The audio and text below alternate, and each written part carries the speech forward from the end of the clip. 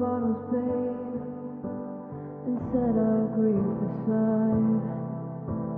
The papers say it's doomsday, the button has been pressed. We're gonna nuke each other up, boy.